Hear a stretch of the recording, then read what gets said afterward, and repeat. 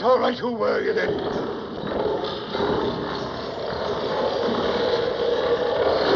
In life, I was your partner. Jacob Marley. Oh. What do you want with me? Much. In that case,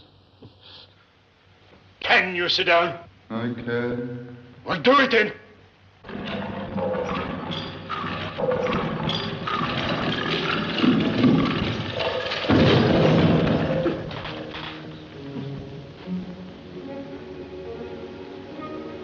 You don't believe in me. I don't. Why do you doubt your senses? Because a little thing affects them. A slight disorder of the stomach makes them cheat. You, you might be an undigested bit of beef, a piece of cheese, a fragment of an underdone potato. There's more of gravy than of grave in you. Whatever you are.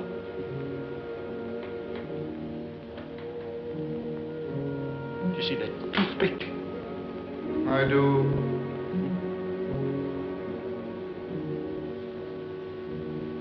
You're not looking at it. But I see it notwithstanding. Oh. Well, then, I've, I've just got to swallow this and I'd be tortured for the rest of my life by a legion of hobgoblins. All of my own creation. It's all humbug, I tell you.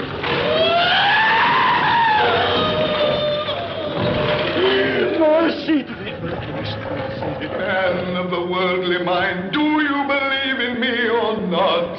I do, I do, I do, I do. I must. But why do you walk the earth? And why do you come to me? It is required of every man that the spirit within him should walk abroad among his fellow men. If it goes not forth in life, it is condemned to do so after death. It is doomed to wander through the world.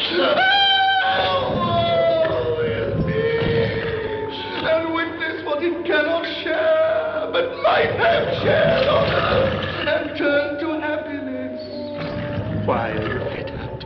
I wear the chain I forged in life. I made it link by link and yard by yard. I girded it on of my own free will and of my own free will. I wore it. You have my sympathy. Ah, you do not know the weight and length of strong chain you bear yourself. It was full as heavy and as long as this seven Christmas Eves ago, and you have labored on it since. It is a ponderous chain. Mark me! In life, my spirit never roved beyond the limits of our money-changing home. Now I am doomed to wander without rest or peace. Incessant torture of remorse. But it was only that you were a good man of business, Jacob. Business! Mankind was my business. Their common welfare was my business. And it is at this time of the rolling year I suffer most. Hear me. My time is nearly gone. I come tonight to warn you that you have yet a chance and hope of escaping my fate. A chance and hope of my procuring Ebenezer. Thank you, Jacob. You were always a good friend of mine.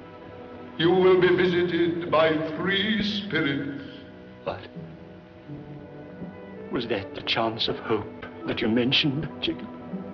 It was. Oh, well, in that case, never mind. I think I'd rather not. Without their visits, you cannot hope to shun the path I tread. Expect the first when the bell tolls one.